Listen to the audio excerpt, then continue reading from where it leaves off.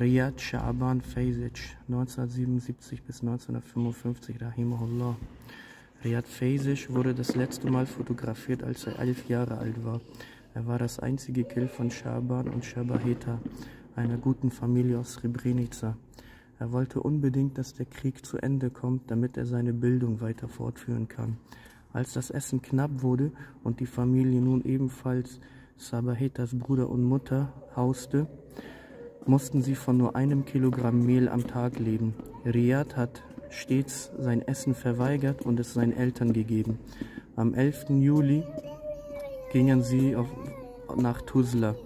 Als die Bomben einschlugen, entschieden sie, dass Schaban weitergehen sollte.